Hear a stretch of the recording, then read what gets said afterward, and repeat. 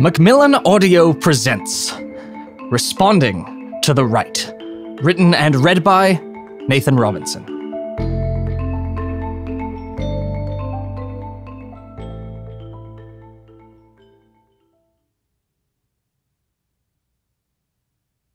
To those on the right who are open minded and thoughtful enough to entertain the idea that they have gotten everything completely wrong. Introduction Conservatives have been wildly successful at advancing their talking points. You have certainly heard them. Taxation is punishing success. Social welfare programs create laziness and dependence. We need aggressive immigration enforcement to uphold the law and preserve national security. Government is the problem, not the solution. From the high volume rage of Fox News and Rush Limbaugh to the supposedly more elevated and sophisticated philosophies of Milton Friedman and William F. Buckley, the American right has managed to set the ideological agenda for the past several decades. Ronald Reagan is still the most admired US president, according to some polls, and neoliberal Democrats like Bill Clinton and Barack Obama felt the need to adopt important parts of right wing messaging as their own, including talk about personal responsibility, low taxes, and the power of capitalism and markets. For too long, the left has failed to adequately challenge the conservative framework. Liberals scoff at conservatives as ignorant and callous, but they don't actually spend much time deconstructing right wing arguments to show how they work. Right wing books are bestsellers, and right wing talk show hosts are phenomenally popular. Yet, someone looking for clear refutations of the conservative worldview would struggle to find a comprehensive treatment. This failure to engage with the right has actually contributed to its success. It's common for conservatives to say that the left has no arguments, in part because we're suspicious of debate. In this book, I'll do something that too often on the left we fail to do. I'll actually deal thoroughly and persuasively with the cases made by pundits like Ben Shapiro, Ann Coulter, Tucker Carlson, and Jordan Peterson, as well as conservative philosophers and economists like Friedrich von Hayek, Ayn Rand, Thomas Sowell, and Milton Friedman. I'll defend the left's positions on gender, race, wealth inequality, foreign policy, the environment, and more combing through the pages of the Wall Street Journal op ed page and books by the right's most popular pundits, plus videos from Prager University and Fox News, I'll explain what the right wants you to believe and why you shouldn't believe it. This book is aimed at two different sets of people. First, it's aimed at liberals and leftists who want the ammunition necessary to do battle with conservative ideas, whether in public discussions or at the family dinner table. Second, it's aimed at people on the right. Even though it challenges their ideas, it takes them seriously and does not dismiss them as unworthy of a thoughtful response. While it's a blistering critique of the conservative position, it accepts that one cannot trivialize the power of conservative politics or pretend its defenders do not exist. At Current Affairs, the magazine I edit, we've developed a reputation for thorough debunkings of the other side's arguments.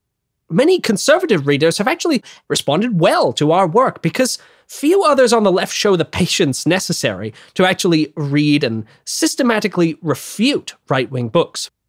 You won't find reviews of the latest Dinesh D'Souza volume in the pages of The Nation because D'Souza is seen as not worth dealing with. But you will find such reviews in current affairs, because I think anyone with a large audience needs to be dealt with. This kind of engagement is healthy in that it means we break out of our political bubble. It means we have to consider the other side's position and be able to articulate our reasons for rejecting it, rather than simply ignoring it. It also makes for entertaining reading as we skewer bad arguments with wit and verve. I differ from a lot of my comrades on the left in that I find conservative arguments deeply compelling and persuasive. But I don't mean that as a compliment. I mean, I see how they compel and persuade people, and it scares me because they're wrong. I mean that these ideas are powerful. They lure for a reason. There's something very tempting about ideas like just respect people's individual choices in a marketplace. In fact, it sounds completely uncontroversial. Of course, we should respect people's choices. It's only when you actually start to think about the implications of these positions that things become more complicated. Conservative talking points are not, as some on the left assume, self evidently absurd. Actually, the problem is that their absurdity is not self evident. On the surface, they often seem like such basic common sense that nobody could disagree with them, which is why conservatives think the left must be loopy, bleeding heart wackadoodles who let our emotions get the better of our reason. It frequently takes some deep thinking to see where their case goes wrong. Conservative arguments often sound good when they're just a bunch of words on paper, and it's only when we look at them against the reality of the world that we begin to see the problems with them. Free market rhetoric is extremely appealing. Leave people alone. Great, hooray! Don't interfere in contracts. Right, interference. Who wants that? Don't tamper with prices through regulation. No, tampering would disrupt the market process. Best to leave it alone. There is a libertarian manifesto called Don't Hurt People and Don't Take Their Stuff, which sounds so unobjectionable that any disagreement would appear crazy. But then in practice, what these things mean are leave employers alone to fire people for getting sick. Don't interfere in contracts that require employees to let their bosses spy on them 24 hours a day, or don't prevent landlords from raising the rent by 500% in a single month if they feel like it. What sounds like common sense can actually be a rationalization for cruelty. So I don't think people are stupid for accepting conservative arguments. I think that it's very easy for these perspectives to sound reasonable. I earn my money, so why should the government get to give it to someone who didn't earn it? And it's not until we start really thinking hard about the way the world works that the assumptions behind these bits of rhetoric begin to break down. Of course, conservatives think we do not listen. They think the left is emotional, that we are soft relativists who cannot handle the facts. They believe that because we think they are evil and we are good, we are incapable of seeing things as they really are, of accepting the hard and brutal truth of reality. Here's how libertarian economist Deirdre McCloskey puts it. The standard take in American politics is that the left is ethical and the right is not, and this is why we have such a hard time talking to each other, because the left won't listen. Why should you listen to Hitler? There's this ethical belief the left has that anyone who's not left wing hates the poor and is salaried by the Charles Koch Foundation. Now, as a matter of fact, the left is not actually insane to think that any given conservative pundit is probably funded by the Koch brothers. The uh, network of Koch funded scholars and talkers is almost unfathomably vast. McCloskey herself has indeed been salaried by the Koch Foundation. But is it the case that the left refuses to listen to conservative arguments? That the standard take is that the left is ethical and that we do not take seriously conservative ideas because we simply assume they hate the poor? Perhaps for some, but not for me. I listen to conservative arguments all the time. I listen to right wing radio. I read the National Review. And I have an entire bookcase devoted to conservative philosophy from Edmund Burke to Milo Yiannopoulos. I am concerned to treat these arguments fairly and judiciously. This is for reasons of basic intellectual integrity, but also because everyone has a responsibility to hear the other side out carefully in order to determine whether their own beliefs are in fact defensible. John Stuart Mill explained this well in On Liberty, writing that those who, quote, have never thrown themselves into the mental position of those who think differently from them do not know the doctrine which they themselves profess. And if we do not know the other side's arguments in their most plausible and persuasive form, and feel the whole force of the difficulty which the true view of the subject has to encounter and dispose of, we will never really possess the portion of truth which meets and removes that difficulty. If I am not closely acquainted with the arguments against mainstream climate science, for instance, I will not know why they are false. In this book, I intend to show that leftists are fully capable of hearing out conservative arguments. That it is not necessarily because we refuse to listen that we find right wing views abhorrent, but may be because we have listened plenty and been horrified. And while I do not think it is right to say that conservatives hate the poor, the reason that many leftists think conservatives are indifferent to poverty and lack compassion is the frequency with which we hear those on the right trivialize poverty or express their indifference to the fates of others. For example, consider this passage from the Conservative Heritage Foundation. Quote, for decades, the US Census Bureau has reported that over 30 million Americans were living in, quote, poverty, but the Bureau's definition of poverty differs widely from that held by most Americans.